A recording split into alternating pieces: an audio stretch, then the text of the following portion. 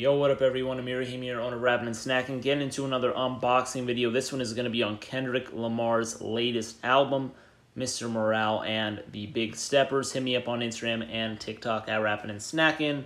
Subscribe here, all that stuff. So this is obviously Kendrick's latest uh, album that he released. Purchased this on his website as soon as it was available. Just a box set. Um, they had a couple box sets. They had ones with white shirts and they had others with black shirts. This particular one has a black shirt inside.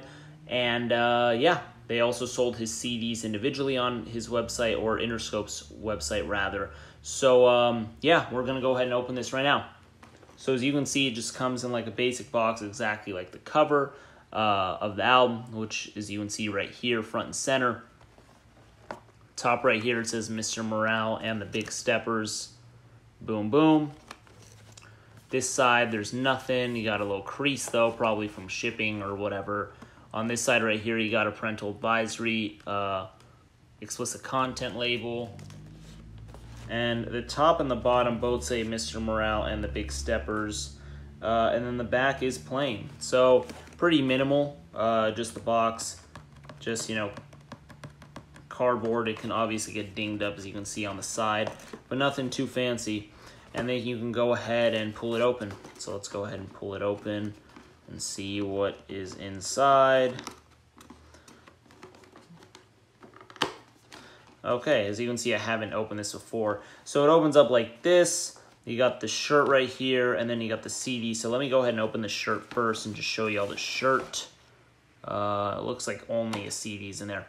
So honestly, I'm not that, I, I didn't really care to buy this shirt. Uh, I just wanted the box set, so they got me with the shirt as well. Also, this retailed on the site for $35 before shipping and tax. Uh, since it has sold out though, the interesting thing is it, it, never said how much it was limited to, so I don't know if there's a thousand, I don't know if there's 5,000, 10,000 whether it's some other number, I have no idea. Uh, I'm sure, you know, maybe it will get revealed, but there's also no numbering on the packaging saying like what number this is. So don't know how many there are, but on his site they are sold out uh, for the black and the white shirts uh, sets. So anyways, here we go. Mr. Morale and the Big Steppers. Um, yeah. Black shirt, nothing on the back and the front just it's super super super plain. I mean you can make this at your house if you wanted to. Right here just says m for medium probably on a gildan style shirt or aaa or something like that. Who knows? Mr morale and the big steppers there you have it. Super plain. Uh, honestly i probably won't even wear this. I'm just going to put this back in the box. Uh, and then next up in this set we have the cd uh, nothing else is in the box. You probably can't see but Nothing else in the box. To my knowledge, doesn't look like there's anything fancy or cryptic or anything like that. I know a lot of people like to show the cryptic stuff about Kendrick Lamar. Anyways, let's go ahead and open this and see the artworks. Let's just, boom, little plastic action, get out of here. Some more plastic action, let's just go. And then, boom. So, get out of here. Yeah, the shot. All right, so we have, once again, album cover, boom, boom, boom. And then we got the spine right here. Kendrick Lamar, Mr. Morale, and the Big Steppers. The back right there, pretty cool back. The back doesn't say anything about the track list. You do actually do see a nice little stamp here that says Dismade in Mexico. Kind of messes with the photo a little bit, actually. It's pretty funny. Uh, and then let's go ahead and see the CD art. CD art also extremely plain. Mr. Morale and the Big Steppers right there. Boom, boom, boom. Let's go ahead and open this up. Let's be a little, uh, there we go.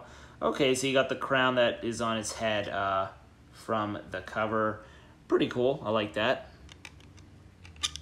And now let's go ahead and see the booklet. Nice, it does feel thick pause. The reason why I'm happy about that is because, you know, we get some freaking credits for once. I'm just so tired of all these new albums not having credits or shout outs or anything like that. But, okay, so once again, you get the, the crown, Okay, you get, okay, so you're just getting, you know, your standard stuff, you know, your credits, who's it written by, production, etc.